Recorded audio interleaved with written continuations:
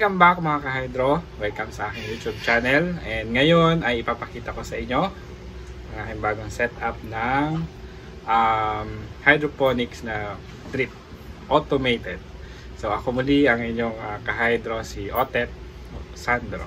Ayan. So, ang tanim natin dito ay uh, steel bell pepper.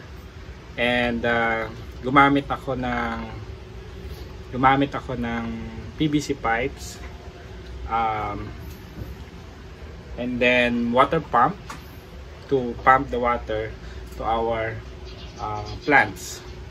And kada ano kada pots meron tayong um, dalawang plants ng bell pepper. For our uh, plastic uh, yung pots natin gumamit lang ako ng common uh, plastic black plastic na bibili sa mga agricultural supplies uh, agricultural supply stores. And um, for the drill bit, para sa butas ng ating piping, may, gumamit ako ng drill bit na 1, 1 over 16 inches or um, one, around 1.5 millimeters in diameter. So for the water pump, uh, bumili ako ng water pump na usually ginagamit sa mga aquarium ang na ang may maximum head siya na 1.5 so I just put it tiningnan ko doon sa kanyang curve kung an ano yung pwedeng uh, maximum height na pwede kong i-set up with with my uh, current um, hydroponic setup. And then ang isang pinakaan nito feature automated to.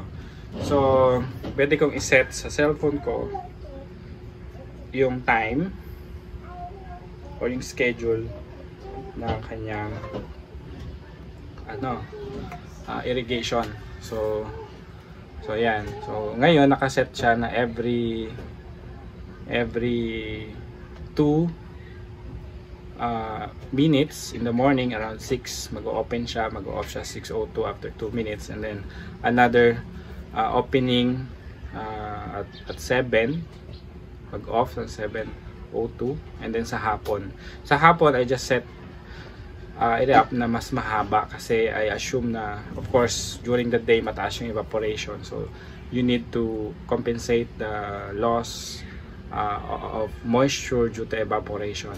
So pagdating sa hapon um, I just put it at 3 minutes at around 5 o'clock. So mag-on uli siya. So paano ko nagawa yun? Uh, it's just very simple. You can buy it on the on um, Lazada or Shopee. I just bought, uh, they call it Live Smart Wi-Fi socket. So uh, we have a Wi-Fi at home. Why? Carrie? Yes. Ayan. So gusto niya sumama sa ating vlog. Ayan. So ang binili kong Wi-Fi uh, socket ay yung TP-Link. So just uh, search this on Shopee or Lazada, you can bought it. So may kasama na rin siyang ano, you can download uh, on the uh, the app if you are if you are using Androids or iOS. So meron din siya kasamang app. So very useful, very handy. Uh, what else?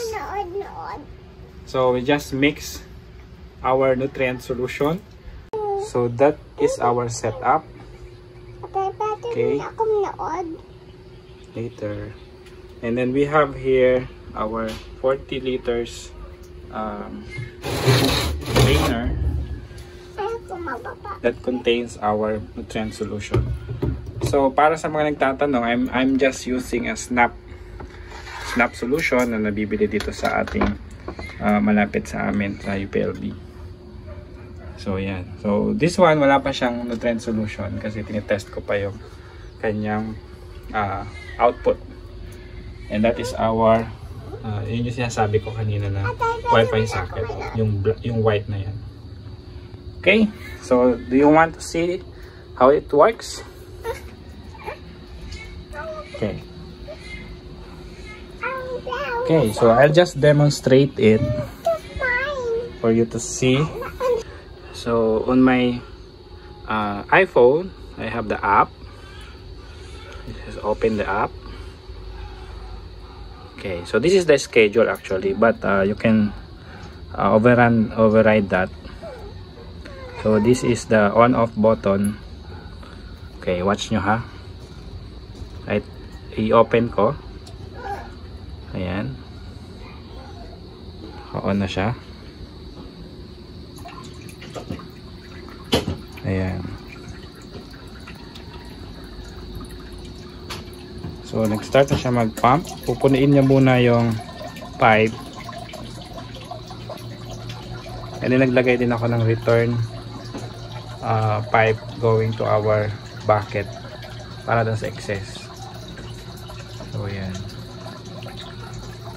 And then, meron ako dong nilagay na ano, gate bulb para makontrol ko yung pressure.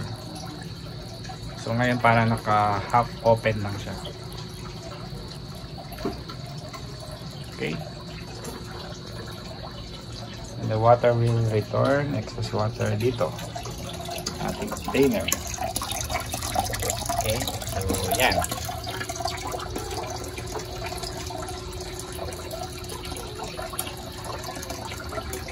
And then I will turn it off tingnan nyo ha? O dito. Kita nyo yung water. So pag tinurn off ko siya o yan. Nag off na rin yung water natin o yung pump. Okay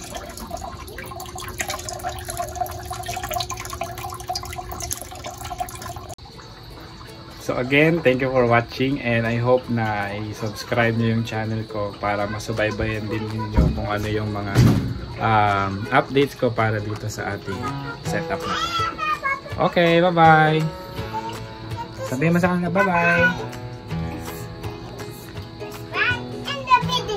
Oh, ano, ano? Thank you!